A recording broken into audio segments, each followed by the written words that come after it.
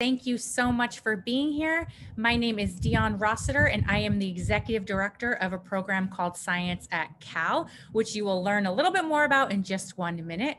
I first want to welcome you to our this November installment of Midday Science Cafe. We have an exciting program for you today, expanding the frontiers of biofuels, algae's rise and as an alternative energy source. We have Dr. Melissa Roth, a research biology, biologist in the Department of Plant and Microbial Biology at UC Berkeley, and Dr. Sarah Calhoun, a postdoctoral fellow at the Joint Genome Institute.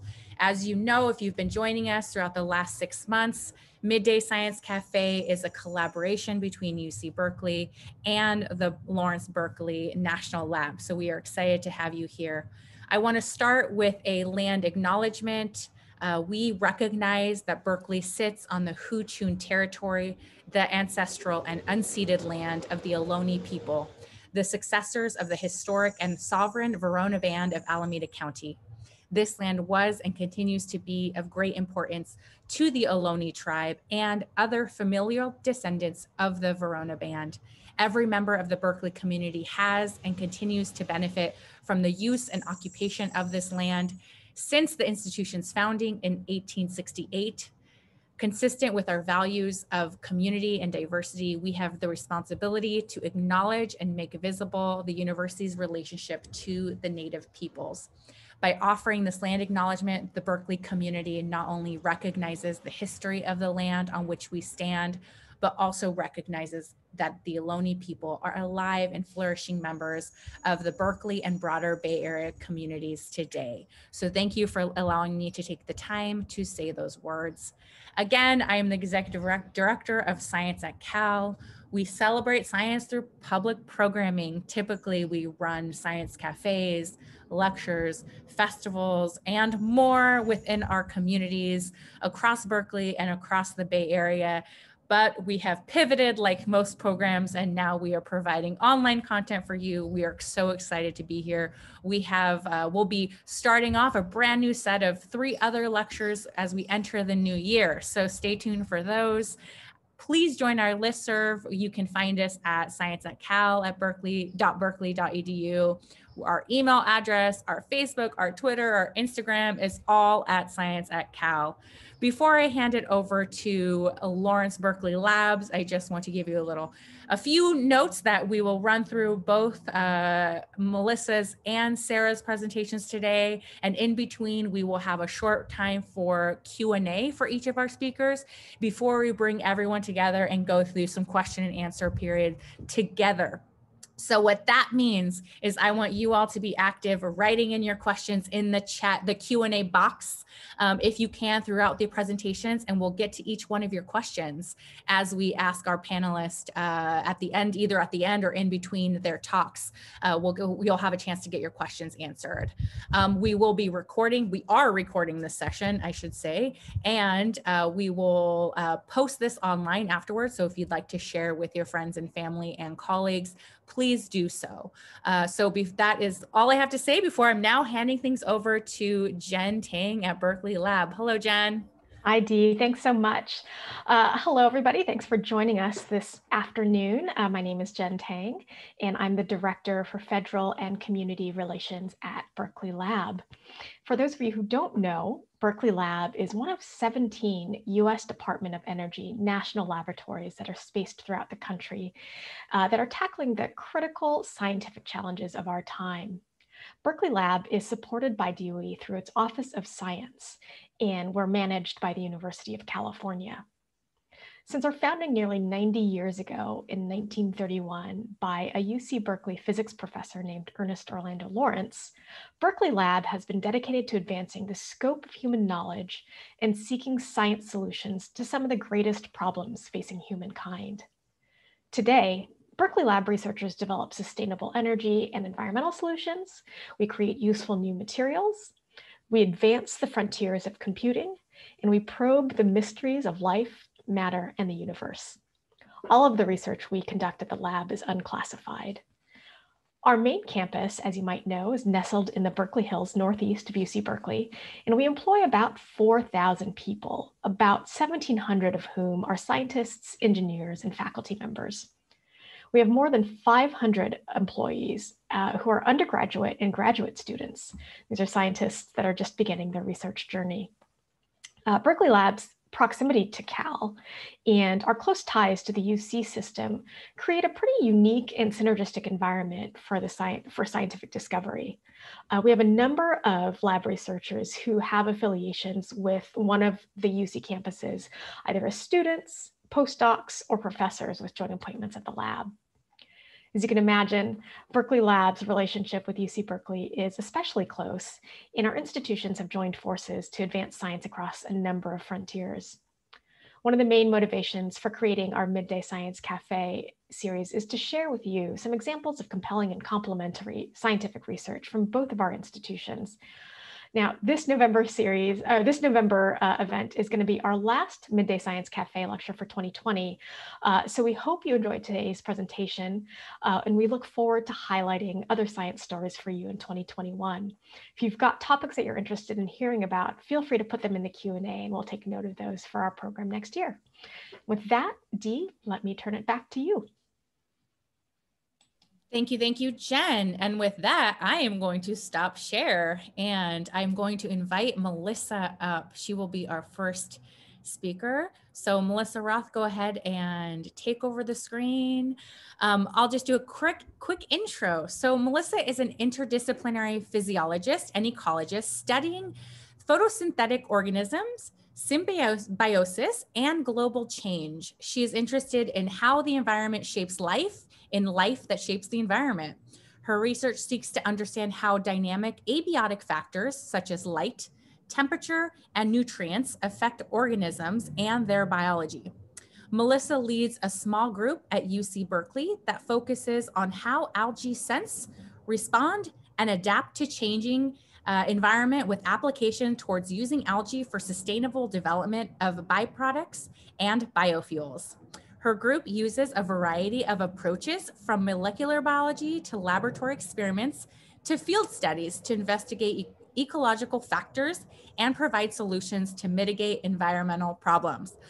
That was a mouthful, so she'll tell you more about what all that means. Um, Melissa is a two-time U.S. National Academy of Sciences Kavli Frontiers of Science Fellow. Congratulations, Melissa.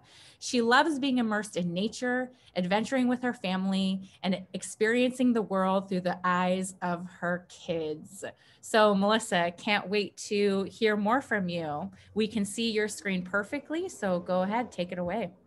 Okay, great. Thanks, Dee. Uh, Thank you for the introduction and the opportunity uh, to talk to you all today. I'm excited um, to tell you, give you this present presentation. Uh, the title of my talk is called Algae, Unsung Heroes of Our Past, Present, and Future. And I'm excited to tell you about what I think are probably one of the most underrated and overlooked life forms, and that is algae, and how they've been absolutely critical to evolution of life on Earth, our everyday survival, and potentially our future as well. So let's begin with a nice, deep, relaxing breath. So that's not only calming, but the oxygen we breathe is required by our bodies and fuels our cells. Let's take another breath. And the oxygen, one from those two breaths, comes from algae. And when you hear of algae, you might think of little green cells, little brown cells. You may even think of ponds or algae floating on the surface of pond. Here's some green algal pond scum. You might even think of kelp forests where brown algae stretch from the seafloor to the ocean surface uh, to make a forest for many animals. Or you might think of coral reefs where tiny algal cells live inside corals that not only give corals their color, but also the energy to build coral reef ecosystems. Algae are found not only in lakes and oceans, but also um, in soil, snow, ice, um, hot springs, inside animals, and even on the fur of animals like polar bears.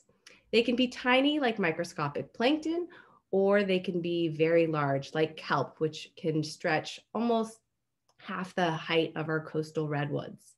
They can be unicellular or multicellular. They can live alone or in colonies. They are a broad and diverse group, and they're often grouped with plants. But generally, algae are defined as oxygenic photosynthetic organisms um, that have the light absorbing pigment chlorophyll A. And just a note on nomenclature, algae is a plural world, word and alga is the singular. So here's a look at global primary production. This is a composite image of Earth showing the magnitude and distribution of primary producers. And you can see the areas of highest productivity in dark red in the oceans and blue-green on land. And billions of years ago, algae were critical for the buildup of oxygen in our atmosphere that set the stage for most of evolution of life on Earth. And currently algae account for about 50% of primary production. So algae are important for biogeochemical cycling. Um, they in particular, they convert inorganic carbon to organic carbon. So they're important to the carbon cycle, which of course we know has a huge impact on weather, climate, and global change. Algae has many important ecological roles, such as at the base of aquatic food webs. And recently, interest in algae has grown because of their ability to be produced sustainably and many products can be produced from algae, such as for fertilizers, pharmaceuticals, food, feed, and bioenergy. And algae are at the base of the plant lineage, so it's important to understand conserved mechanisms, which means that discoveries in algae could have implications in improving crops or ag agriculture. So at the heart of algae is its photosynthesis, and that's the conversion of light energy into chemical energy. And we know a lot about the fundamentals of photosynthesis, this complex series of reactions that uses sunlight um, to convert carbon dioxide and water into carbohydrates that we eat and oxygen that we breathe.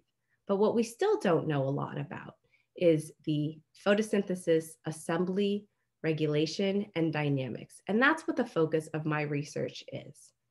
Algae also produce many different proteins, pigments, oils, um, which we call lipids, and many other bioproducts. And these are of interest not only for their commercial uh, sustainability and production, but also because of the property of the products. And I'll discuss one such product. So my group uh, uses algae that have very flexible metabolism, which means that under specific conditions, some algae can actually change from being autotrophic, which means they use light to make organic carbon, uh, to heterotrophic, which means they take up or eat organic carbon, like animals like us. So this also completely changes and redirects metabolisms and the products they make. So one alga my group has studied extensively is the unicellular green alga called Chromochloris zofingiensis. And this is what it looks like. This is a culture in the lab. Um, and, and, this is a picture on, from under the microscope. There are these fairly nondescript uh, cells. But what's really exciting about this organism is when we change its environment, what it's grown in, we can see a dramatic change in the culture. And so these experiments are a lot of fun because they're so visual and it happens pretty quickly and so much is happening in the cell. So let's dive into this a bit more. So I'll show you a fun time lapse that my graduate student Daniel Westcott has made. So on the green culture on the left, cells are grown normally autotrophically, and then we add this carbon supplement, in this case, glucose to the culture. And glucose is a favorite energy source for many organisms. And you can see as I start this time lapse that the green goes away and it turns to pink. And the culture on the right that was pink uh, was, was grown with glucose and that was removed and then it turned to green. So you can see that was pretty fast. Um, so let's watch that again.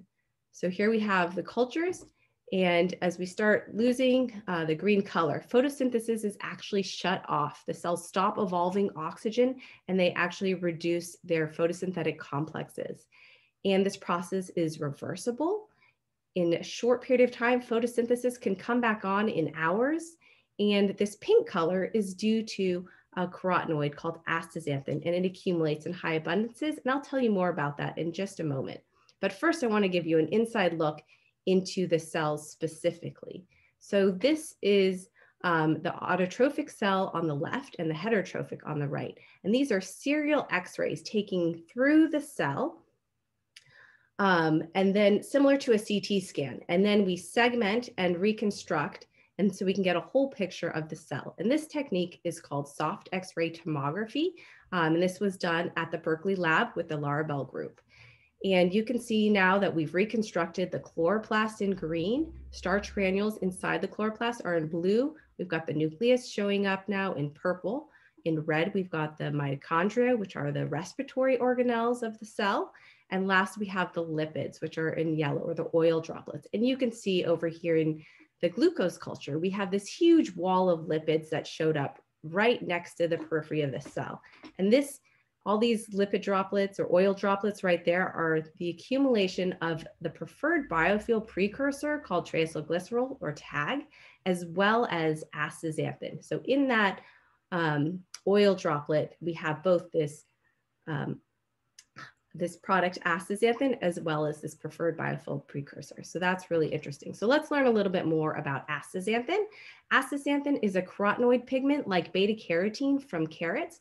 Um, and except that astaxanthin is pink. So it's the reason why salmon and flamingos uh, look pink. They acquire astaxanthin through their diet. And so we've had a long history of use of astaxanthin in industry, um, primarily as a coloring agent and often in aquaculture. It's the reason why farmed salmon uh, look pink.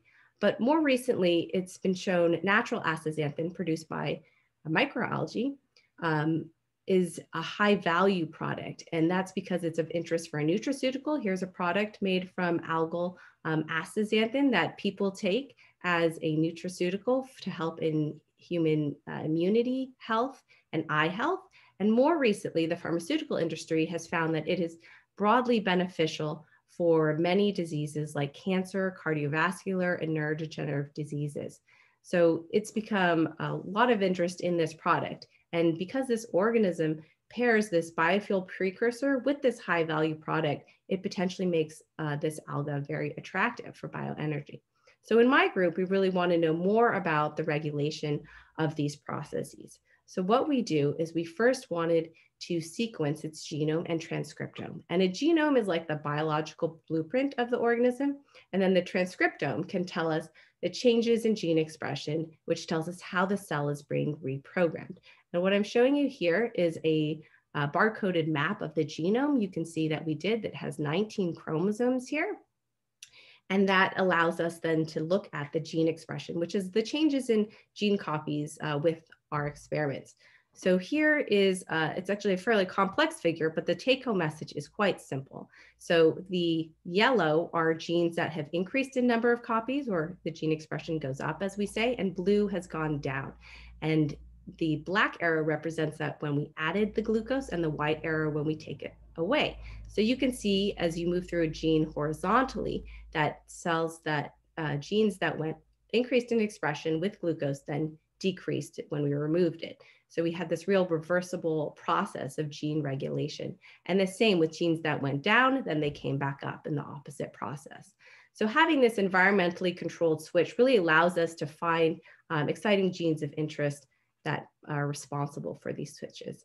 And another way we can try to find uh, players that are involved in these switches is to use a, use a really classical uh, approach of, called forward genetics. So here I did an experiment where I took the algal cells and I exposed them to UV radiation, and that makes random mutations in the organism. And then I test for the phenotype I'm looking for. So here's wild type WT, and you can see we get the normal uh, green without glucose, and then we get the astaxanthin pink with glucose. And you can see these two strains, they no longer change. They no longer shut off photosynthesis, and they no longer accumulate astaxanthin. And we got a handful of these uh, algae uh, strains. And so we then sequence the whole genome, and then we find where they have a shared mutation.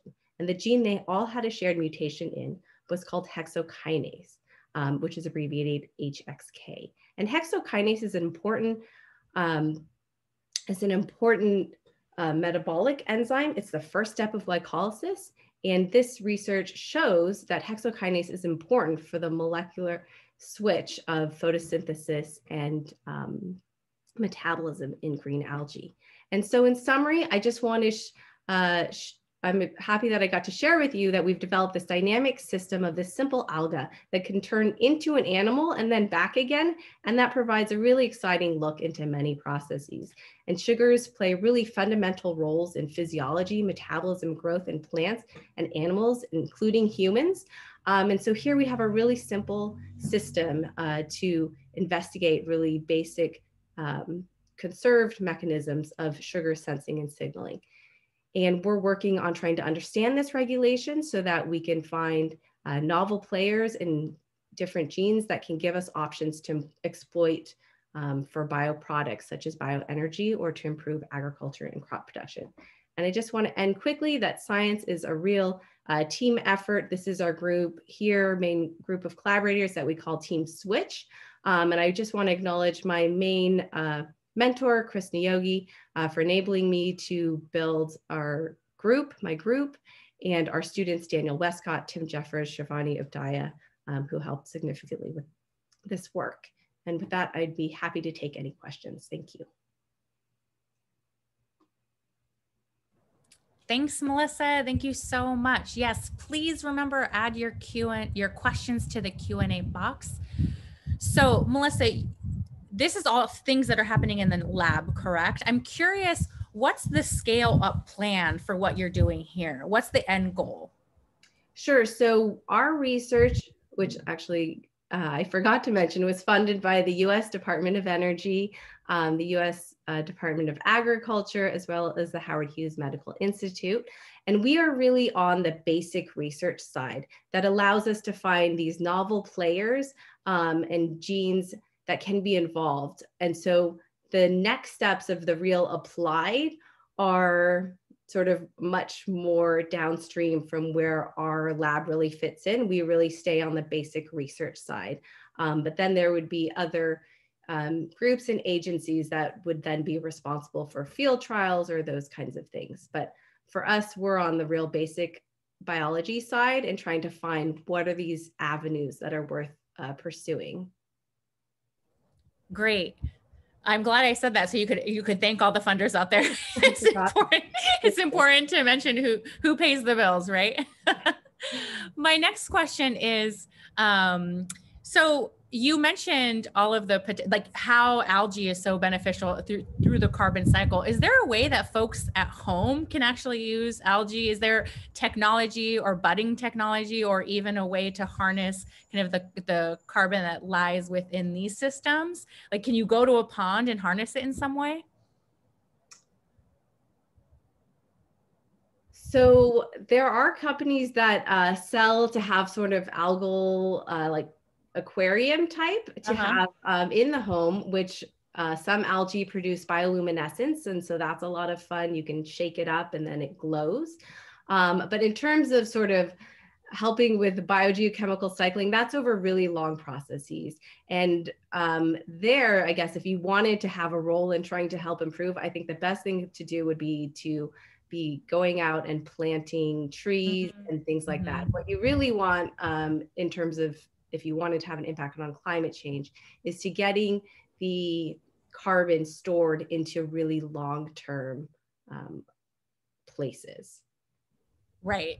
Okay. So more longer life cycle carbon movement. Yeah, you want it to get mm-hmm. you want it to come out of the atmosphere and to get sequestered. Ideally, you know, after hun- you know, yeah. hundreds of years, then that would get into the sediments and into the soil and down, right? And that's the problem with fossil fuels is that we are burning, you know, photosynthetic products and organisms from millions of years ago.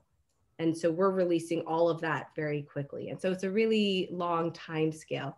Um, algae are on a much shorter time scale, um, but there's there's potential like in the ocean for trying to do say deep sea um, sequestration or things like that.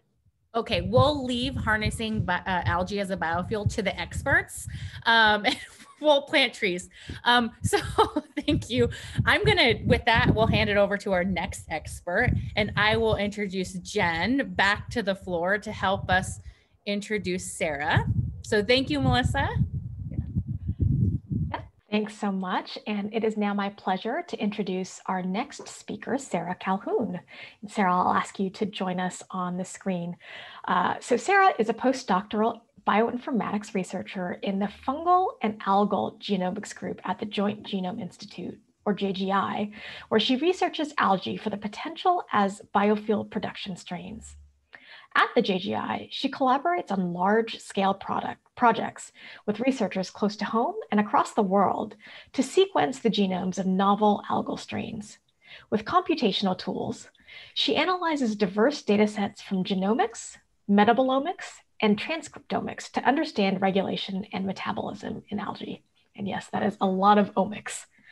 Prior to joining JGI, Sarah received a Bachelor's of Science in Bioengineering from the University of Washington and a PhD in Biophysics from UC San Francisco. For her PhD studies, she developed a method to predict the function of unknown genes in microbes. When she's not at work, Sarah enjoys attending ballet classes, hiking, and playing with her cat. And with that, Sarah, I'll turn it over to you. Thanks, Jen, and hi to everyone out there. Um, as Jen mentioned, I'm a postdoc at the Joint Genome Institute, or JGI, and we're at the Lawrence Berkeley National Lab. So the Joint Genome Institute is considered a user facility, part of the Department of Energy. And that means we facilitate the research driven by the scientific community to advance DOE mission areas. So I'll just start by sharing why the DOE is interested in studying algae and why you should also be interested. So algae play a significant role in the environment and energy applications. As Melissa had already mentioned, they perform nearly half of the planet's photosynthesis. It's important for carbon cycling, removing carbon dioxide from the atmosphere, and then producing oxygen. Uh, similar to what Melissa showed, here's just a map showing the abundance of the photosynthetic uh, pigment chlorophyll that's found in algae. And it's just showing how prevalent they are across the oceans, particularly along the coasts. Uh, algae also play an important ecological role. One example is that they form toxic algal blooms, and this can cause problems like poisoning the drinking water and also harming marine wildlife. We also study algae due to their complex evolutionary history. This tree shows the evolutionary relationships among different groups of algae. And by studying different organisms, we can learn more about their history, like the origin of photosynthesis. And lastly, they have potential in bioenergy and many different biotech, biotech applications, ranging from different industries like cosmetics, pharmaceuticals, or the food industry. And through our community science program, we work with academic researchers, national lab partners, and industry partners across the world on projects that relate to all of these questions. And today we're talking about the potential of algae as biofuel feedstocks. So algae have great potential as biofuel feedstocks. First, they can perform photosynthesis. Uh, they fix carbon from carbon dioxide and convert light energy into chemical energy. This means that they're self-sustaining and nearly carbon neutral. Second, some algae can accumulate oily droplets, which are made up of a class of molecules we call lipids. These lipids could be extracted and then converted to biofuels. And I'll come back to these lipids later. And third, in contrast to plants, algae require minimal land use. Typically, they can be cultivated in water, and so less land area is needed. Here I'm showing a map of the United States showing how much area of corn would be needed to be grown to replace all of the gasoline consumed in the United States. So this is nearly a third of the land area of our country and compare that to the area of corn currently in cultivation. So this is much too large of a, a demand on our resources. In contrast, you see the area of land needed to grow algae to replace all of the gasoline consumed and you can see it's a much more efficient use of land. The main drawback of algal biofuels is that there's challenges in scaling up. This leads to a high cost of production. Currently, the cost is estimated roughly to be about $10 a gallon for algal biofuels, and this is too high to be competitive on the market with conventional fossil fuels. The DOE has set a target cost of $3 a gallon of algal biofuels. We're trying to reach this by 2030. So how do we get to lower costs of algal biofuels? One approach is to find the best strains of algae to use as a biofuel feedstock. It's estimated that there are over 100,000 different strains of algae, and a national consortium of scientists are testing for which algae grow the best. We can look for traits like high oil production and large biomass accumulation. This is a picture showing one of the test beds in Mesa, Arizona. It's a public-private partnership which screens for which algae are growing the best. And they grow them in these outdoor raceway ponds you see here. An alternative is these photobioreactors. So this is growing in a lab controlled setting indoors, but it allows us to simulate outdoor conditions. You can control conditions like temperature, light, or pH, or salinity, and this allows us to test a, a, wider range of conditions than you would be able to do outdoors. So once we find the most promising candidates, we wanna learn more about them and their biology. Our main goal is to identify genes that play a role in regulating biofuel production and growth. And this is where sequencing the genome is key. We can begin to investigate the DNA and genes that encode the traits that give them better properties whether it's higher photosynthetic ability, faster growth rate, or more tolerant to changing conditions. Here I'm showing a picture of one of the sequencing instruments that we have at JGI. And the eventual output is this unique sequence of nucleotides that make up the DNA of our organism. These A, T, Cs, or Gs are abbreviations for the four different nucleotides. And we publish and share these genomes with the public. And this is critically important. The scientific community uses the genome to build off of their own research. So one of the top producing strains was a strain of algae that originated actually from a brewery in Colorado. So this was a, the New Belgium Brewery, so in Fort Collins. Um, if you've seen Fat Tire or other New Belgium beer in the grocery aisle, our alga comes from the same place. Our collaborators isolated the strain and then extracted the DNA. We sequenced the genome at the JGI and then identified that it was this new species of algae. And then with the genome, we can begin to characterize the molecular traits to provide a foundation for genetic engineering and ultimately improve these for more of their applications in biofuels. So I mentioned once we have a genome, we can start characterizing it we can perform a range of experiments. And one of the experiments we were interested in is how do algae adapt to lower temperatures? And this is relevant because when we're growing them outdoors in these farms, there's these temperature changes that they must be able to adjust to. And if you think about it, when you or I go outside and it gets cold, we can adapt to the temperature change by putting on a sweater or putting on more layers. But algae also respond to the temperature change, but they don't have little sweaters to put on. So instead they change their cellular composition. So we perform an experiment to understand this mechanism by growing algae in different temperatures. We grow them in the average summer temperature and also a, a lower, colder temperature. And these temperatures were chosen to mimic the conditions of the outdoor test beds in Arizona.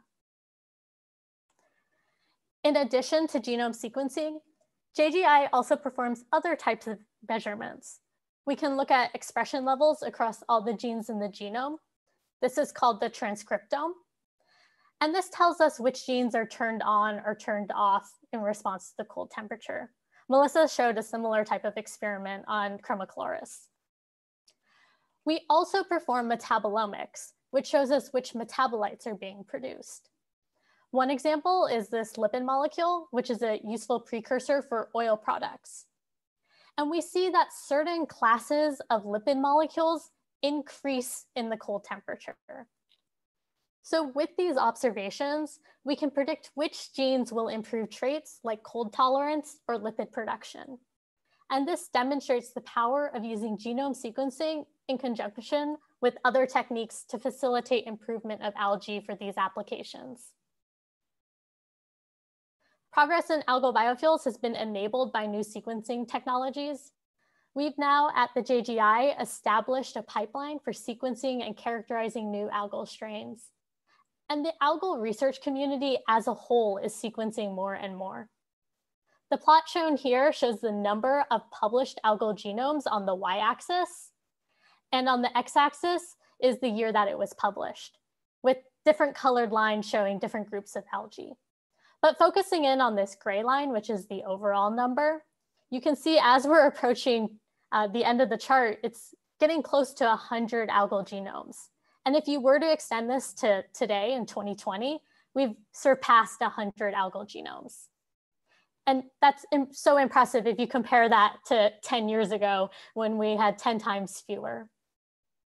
And not only is the number of sequenced genomes of algae growing, but the sequencing technology and genomic tools are continuing to improve. Our understanding of algal biology is better, and our ability to engineer the algae is also better. So looking to the future, as we as a society are looking for more options to mitigate the effects of climate change, algal biofuels have the potential to contribute to lowering greenhouse gases in the atmosphere and offer a new alternative source of energy. So pursuing these options is a worthwhile investment.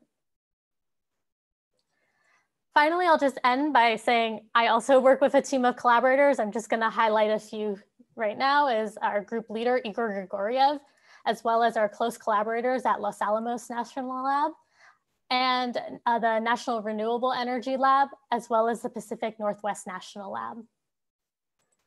And then I also want to encourage you to follow us for updates on science projects on not just algae, but also JGI does a lot of work on microbes, viruses, plants, and fungi, and you can uh, learn about all these new um, uh, advances by following us on various social media platforms. Thank you.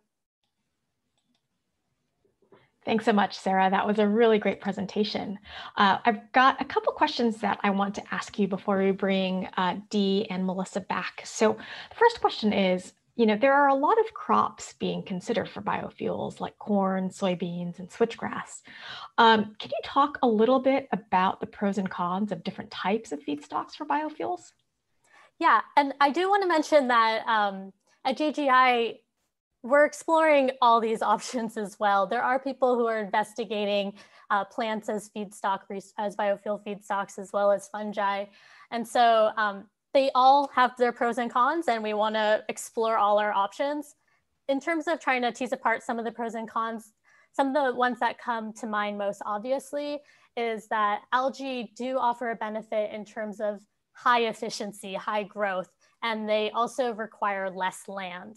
Um, one of the drawbacks perhaps in using algae is they do require a lot of water to be grown in and other sort of nutrients that may sustain the culture, as well as algae just not being as well characterized as some of the plants that are being used as fuel feedstocks. Got it, thank you. Um, and another question that we have here is, what do you think the biggest barrier is in moving algal biofuels from the lab to the marketplace, uh, where we can see it be more fully and broadly deployed? And can you talk a little bit about how the Department of Energy is supporting fundamental and applied research in this space? Yeah, so uh, the Department of Energy is definitely supportive in this area in terms of moving this to something that we can actually see in the real world. Uh, probably the biggest challenge is the unpredictable nature of moving something from a small lab scale to a large commercial scale. Um, when you grow things in larger scale, in fact, for algae, uh, sometimes they kind of inhibit each other in terms of blocking out light, or when they're crowding, you can uh, cause decreased growth. So all of these challenges of moving from small to big is extremely unpredictable when you're working on uh, new organisms like algae. And then as far as how the DOE is investing, um, this is just one aspect of their investment as uh, we're uh, kind of more of a genome focused biology institute. And so all of our um, solutions are more focused on the scale of the genetics and the genome. But there's definitely numerous engineering challenges that the Department of Energy is also investing in. how do we lower the overall cost of harvesting and refining and other process, uh, processes um, that get us from you know, algae to actual oil at our gas pump. Great. Thanks so much, Sarah, for those thoughtful answers. Um, let me actually ask you now to stop sharing your screen sure. and we'll bring Dee and Melissa back uh, to rejoin us and kick off our official Q&A session. Yeah, thanks everyone. I want to remind you to add your questions to the Q&A box. But both amazing presentations. Thank you so much. Um, Melissa, I see you are surrounded by algae back there. Yeah, and Sarah, the one go ahead. species. I've got this is Chromochloris zofingiensis. It's always with me. I love it. I love it. Okay, so I know you both talked about turning genes on and off, and we have a question from the audience that what criteria will determine the best algae for fuel? So, what do you guys think? Maybe you both can answer this because you're both studying how uh, the different properties of algae, and what would what would you consider the best properties? Do you want? I'll start. Um, yeah. One thing in terms of the best properties, mm-hmm. what is actually going to grow the best when we move it to large scale? And when I mean grow the best, I mean um, accumulate a lot of mass, but also a lot of the oil. And it's really just how do you get large amounts? Because the biggest challenge is how do you get costs down? And to get mm-hmm. costs down, you just have to grow and scale. Mm-hmm. But it's really not just one property you can optimize. And I mean, growing best is one thing, but can it survive throughout the year? Are you going to have to rotate it when the winter comes? Uh, so I think that there's a lot of factors and unknowns we still need to know when we're looking at um, the best alga. Right. So I'll just add on to that. Right. So there are a lot of factors Sarah's kind of mentioning with production, right? And if you could use wastewater, right, instead of fresh water mm. or salt water, if you have less likelihood of contamination, right? All these different factors. And then I'd say where our research is really looking at is if you can remember in the in the uh, picture of the cell when we grew it with glucose, right? We had that whole wall of oil droplets that really showed up, and those are actually the uh, the preferred biofuel precursors, triacylglycerols are in there.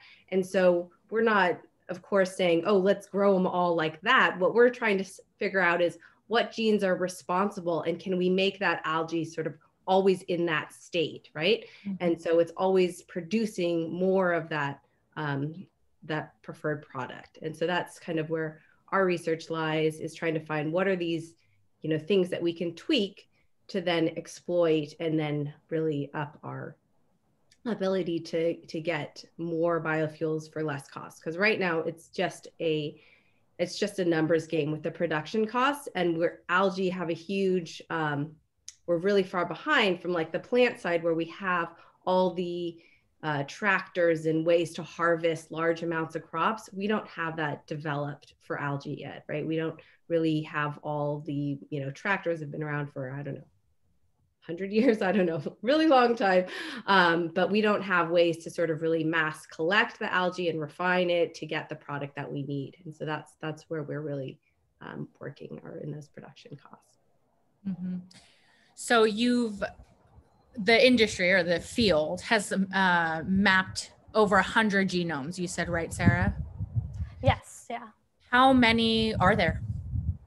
Oh, how many uh, algae? yeah. So yeah, there there's estimates in terms of how many different algae there are. Um, we really don't know exactly the number. Um, taxonom- taxonomists are estimating that there's over 100,000 different strains. Um, so in terms of sequencing all of those, um, probably not likely, but maybe the ones that are most relevant. And in terms of sequencing, choosing which to sequence, one thing we like to do is because there's so many, we want to get a diversity of algae sequenced. And that will cover more space so we can learn more about them. Um, but sure, any strains that are of high interest, uh, like the Chromochloris or the Scenedesmus that I'm working on, um, uh, ones that have a practical application, we also definitely want to sequence those. And the idea is is because they're you're sequencing a diversity and they're so different that once you start understanding what is turning on and off, you can then harness all of these different genes within the full hundred that you have sequenced. Exactly. Yeah. Okay. So you can start to learn about um, a particular group and then sort of extrapolate to related ones. Great. And Jen, I'll just add on that, Dee. Mm-hmm. So once you have a whole collection of mm-hmm. algae, and if you have ones that are um, oil accumulators and ones that are not, you can do comparative genomics and look at, you know, what are all the genes that all the ones that do accumulate oil have in common. And so you can do these kind of, we call them cuts, like um, the most classic example for us is the green cut, which is when we wanted to know what are all the genes that are involved in photosynthesis. So um, this is work done by Sabeeha Merchant's group that they published in 2007 with the first algal genome published, Chlamydomonas reinhardtii, which is the green algal model algal system. And so they did a comparison, right, where you take green algae and plants, anything that does, does photosynthesis and anything that doesn't, and then you can find what genes are required for photosynthesis. Because one of the challenges with genomes is really like that there are there are thousands of genes um, for example, in Chromochloris, we have about 14,000 genes, and actually only a small fraction of the number of genes do we actually know their function, right? So there's a large number of unknown genes and unknown diversity in there that could be really important, but we just don't even know. And even the genes that we think we do know, a lot of those are just sort of transferred over from what we know in another system, right? We don't actually know for the actual organism we're studying. It could have had a little tweak to the to the gene, to the DNA, um, which could have a huge change in function, but we just kind of assume because it's similar to that one and we know. But the actual number of genes that we like have actually tested the function is minuscule, right? And so, but the genomes have a lot of information, right? They have all the information on what all the biological diversity, all the phys- physiological diversity. And so that's why they're so powerful because um, they really have that whole uh, toolkit of what's available. Very helpful. Thank you, Melissa. That was that was a lot of information. Thank you. No, thank you. Uh, so we've got a couple questions coming in from the audience. Um, so someone's observed that uh, gas in some states across the United States it's pretty cheap right now in Texas and Tennessee. It's two dollars a gallon. Um, Sarah, I think you mentioned that you know DOE has a goal to drive down the cost to about three dollars by 2030. Um, are there any ways for this process to be accelerated to get to uh, sort of where we are right now with other fuels? Yeah to in terms of low getting that cost lower maybe um, to be more competitive with what we're paying for at the gas pump. Yeah um, i think that the biggest target is just to get better scale up. Um, but i think that one way of lowering the cost that's a, a little bit more creative ties into Melissa's uh, talk with astaxanthin is this um, supplement and antioxidant that people will pay a lot more than um, what you would pay for gas. And we're not going to pay less than what, you know, we could get at the, the gas station. But if you're growing up something that produces a high value commercial product like astaxanthin or other antioxidants, you can kind of sell the production, the overall production cost has lowered because you're producing high value with low value, and that can drive the costs down. So that's one option. Got it. Thanks, Sarah. Uh, Melissa, any thoughts?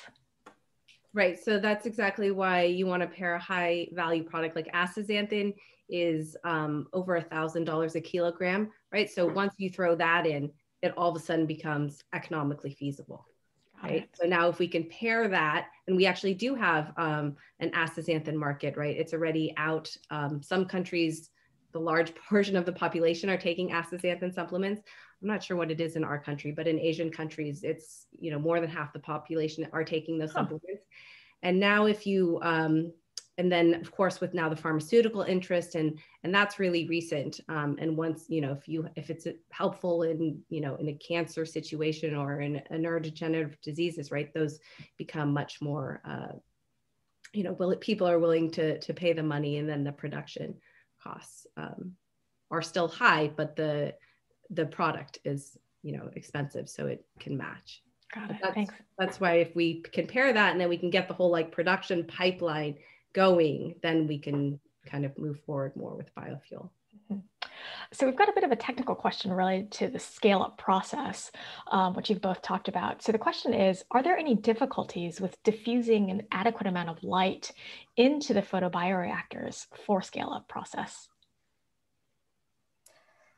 Yeah, to my knowledge, there's um, definitely only so much light can diffuse um, beyond the surface. And so as you go lower and lower, there's this what they call a shading effect, where algae at the top shades out the algae further down from the surface. So they're not going to be able to grow and produce as more. So you're going to reach some sort of um, plateau in terms of how much you can, can get out of it. And so in terms of trying to um, get around that problem in terms of scaling up and sort of the self-shading problem, uh, there's a lot of interest in how do you engineer the ponds to prevent that? How do you um, change or engineer the flow to make it so that there's sort of like a turnover maybe of some algae, as well as in these photobioreactors, they come in a variety of different shapes and sizes. So how do you increase the surface area that's exposed to light? So you can sometimes see these like kind of planes of photobioreactors rather than um, more typical cylindrical tubes. So I think that the this is um, definitely an engineering problem that people have many different solutions and ideas for. Got it. Um, so speaking of, of, the engineering side of things, we got a a broader question, um, you know, when you're growing algae, do you use both freshwater and saltwater in your research? And if the answer is yes about saltwater, are there any difficulties with increasing salinity in the raceway ponds as the algae grows? I can take that question as well. So um, yes, we do look at both freshwater and, and saltwater. Um, in fact, a lot of the screens that they do in terms of picking out which are good strains, they look for, um, they, they test out different salinity levels, including uh, very high levels of salinity, even levels that are equivalent to ocean water. This uh, alga that we found at this brewery, in fact, is considered um, very halo tolerant, as they call it. So that means it has a high salt tolerance, and it has been grown in in levels of salinity up to um, like seawater equivalents. But I will say not all algae can grow at saltwater. A lot of these that are identified as um, top strains of interest are freshwater strains, and this can limit um, their utility if we were to want to use a saltier water source. Great. Thank you, Sarah. We actually have two questions, um, and I'll read them both because they're similar. Um, just so you know, there are two folks who are asking this. Um, how do we prevent a genetically modified alga from escaping into the wild and causing environmental problems? And the second, similarly, how do you address concerns about growing genetically engineered, engineered algae in open air ponds? So both of those as threats to genetically modified organisms, essentially. Yeah, that is definitely a legitimate concern. Um, if I think that people, when sometimes when they hear my talk and they're like, "You're trying to engineer algae that grow even better," um, what if they get out and basically become toxic algal blooms, like what you had mm-hmm. at the mm-hmm. beginning of your talk? Mm-hmm. Um, and yeah, it's like they could be a weed, like similar to weeds that we see in non-native um, kind of uh, spread. And in terms of how do we prevent this, I think beyond just being careful in controlled environments, there are regulations that are in place to prevent people from just engineering whatever they want with any without any sort of um, uh, way to prevent it from getting out. So you do go through a regulatory process to get approved by the EPA, the Environmental Protection Agency, and they will review your study before they will let you deploy it out in, in you're not actually deploying it out in nature, but out outdoors um, so that it doesn't accidentally get contaminated. As well as uh, you can imagine other ways of preventing um, your genetically modified organism from kind of getting out of control is to engineer maybe a gene in that makes it required to be grown in a certain state or condition required to grow if you add a nutrient and then if it lacks that nutrient it's not going to be able to kind of explode out of control in numbers yeah definitely and on the flip side um, there was a question, and now I, of course, in open uh, raceway ponds, how do you protect against contamination the other way, right? So contamination from getting in. Yeah, I'm I'm not too knowledgeable at on this, but Melissa can also take a shot. I'll just say my guess is that um, contamination does occur, um, and one way to maybe prevent it is um, any sort of like um, uh, kind of engineering solutions by maybe covering it with some uh, kind of getting air and things in. Um, I, I, imagine physical covers or maybe wind uh, could also be used. But um, another thing to consider is we we do look at whether um, algae are particularly tolerant in bacterial communities, as well as in some cases the bacteria contam- what are considered bacteria contaminants could actually help the growth as well um, and not necessarily hurt it. So there are um, there are examples of that. And Melissa, did you want to chime in before we go to the next question? Uh, I could just add, right? So if you have more like the salt water or wastewater, right, type environments, then they're less conducive to, you know, a lot of freshwater algae or yeah, what you have out there. And, and I think as long as, as long as you don't have a, a dampening on the growth of the organism you are interested in, then it's potentially workable solution. And then of course, as Sarah mentioned previously, right, there are sort of more the closed systems of um, you know, the, the, sort of more like the bags or those kinds of ways to grow algae that are not exposed, which also might be relevant for the genetic engineering type considerations as well. Thanks. So, so we got a couple of specific questions for each of your presentations. Um, Melissa, I'm going to start with this question for you. Uh, somebody asked, is it common for organisms to have such a wide range in chromosome size? Uh, they, they observed that um, the smallest chromosome had less than half as many DNA bases as the largest one. I think you had uh, in one of your sequencing slides of, uh, of algae. Yeah, that's a very, uh, very specific. um, yeah, I think it is pretty common to have such a wide variety in, in chromosome sizes. Um, there's definitely some organisms that have more uh, comparable uh, sizes, but I mean, you can even think about like in the human genome, like even the X versus Y are quite different. So I think uh, chromosome um, sizes is, yeah, very common or variable amounts of chromosome sizes and lengths is very common. Got it. Thank you. Um, and then a question for Sarah. Um, given that the algae in question you, you, mentioned that was isolated at New Belgium Brewery, um, does the brewery have any proprietary interest in any improvements? Are they collaborating with the JGI and with you on, on this discovery? So they are definitely not collaborating with us, but we are open to collaborations. um, to my knowledge, they don't have a proprietary interest. They were using the alga in a totally different uh, way than than we use it. And um, in fact, so I don't know if you're familiar with the brewing process, but it was in the clarifier uh, water, so it, it helps kind of the visual of your beer to make it really like crisp and clear looking and it kind of like helps to kind of like aggregate all the like gook in a normal like hazy beer.